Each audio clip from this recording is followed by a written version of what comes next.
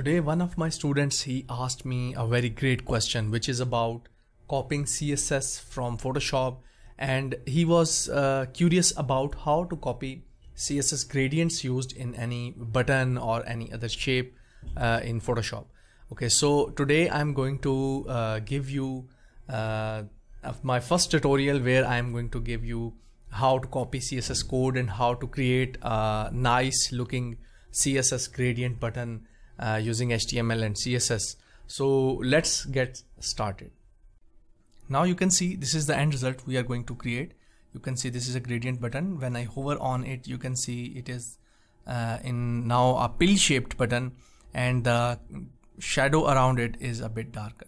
So either you can go with this one or if you don't want the border radius to change or don't want it to be uh, in the pill shaped button let's remove this property and uh, run it.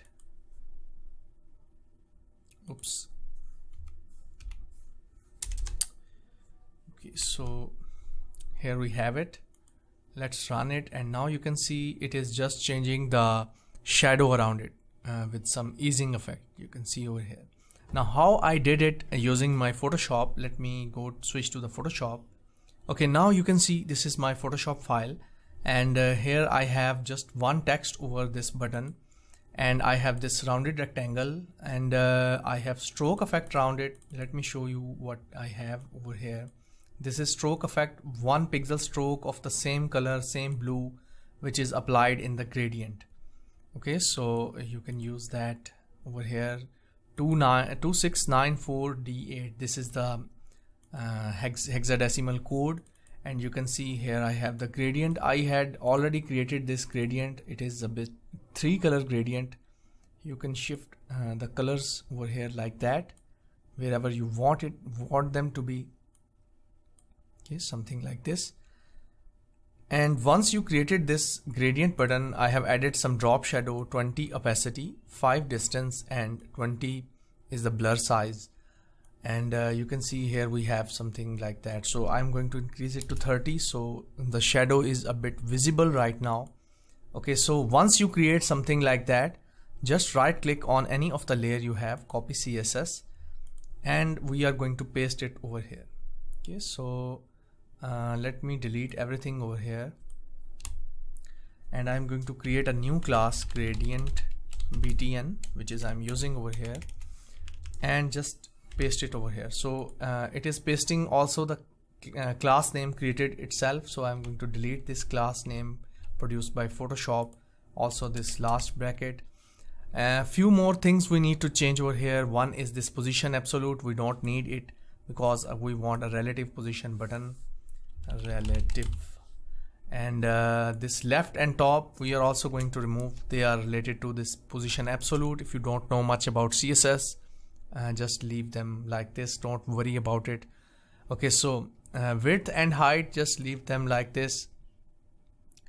And uh, here we have our button. So what I did over here is I just created a button button and I applied a class to it with the name of gradient dash btn okay so this is all I did. Z index you can also remove this one this property too. Okay so let's run it. And it is going to just create our shape which was our gradient shape okay? Now what we need is just some text on it. Now we are going again going to Photoshop and copy the text settings. Here we have right click on this one copy CSS move back and we are going to paste it over here now keep in mind that it is also going to create some uh, these uh, class names for itself. We are going to remove these brackets. Uh, also the z index uh, z index left position absolute and all these because we don't need it. Also we are going to use line height 1 so it is going to 100% line height. Uh, this font is not present over here Yorkten so I'm going to use open sans in place of it. So just a few settings and uh, let's run this. Oops, we don't have any text on the button. So I'm going to use I am gradient, something like that.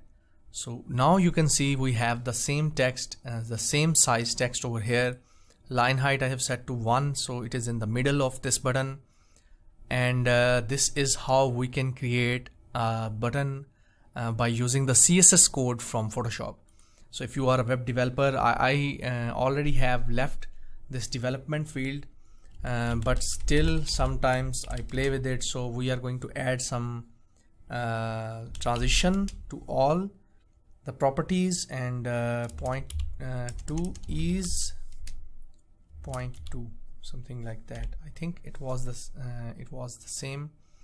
And we are going to create a hover state for this one gradient dash btn and hover state for this one and in the hover state uh, what we are going to do is we can do a lot of things. We can change the box shadow and make it a bit more uh, darker over here. So I'm going to put 0.5 so it is basically 50% now.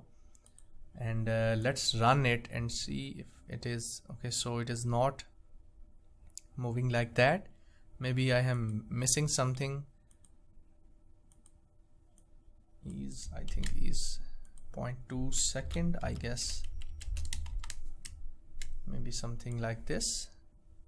Okay so now uh, I think I was missing the second. I'm not much a coder and I don't code a lot. So uh, this is I think I, have coded like uh, six months uh, before. So uh, I'm forgetting a lot of CSS okay so you can see now if I hover on it there is a very nice shadow over here like this also if you want to invert the uh, your gradient you can do the same. Just go to this gradient and uh, reverse it. And again copy the CSS go back. And I am going to paste it over here like this. Okay so we just need what we need we just need the gradient over here. So I'm going to just keep the gradient remove everything else over here like that. Okay we are going to run it again and see how this gradient is going to shift. So you can see now this gradient is shifting although it is not animating very nicely uh, but I think this is uh, what you can do okay. So uh, there are a lot of things you can do over here. So I am going to use border radius I'm going to use 50 pixels border radius on this hover effect. So it is going to be now a pill shift button like that. Okay. so you can see there are two transition happening. One is box shadow. We are making it more harder more shadow. And border radius is uh, making it a pill shift button. So this is how you can use your uh, Photoshop CSS code and eliminate few of the things. Like most of the time it is using absolute positioning which we don't need we need relative positioning. Uh, also uh, if you want you can uh, do more about it like rather than using height and width you can use padding.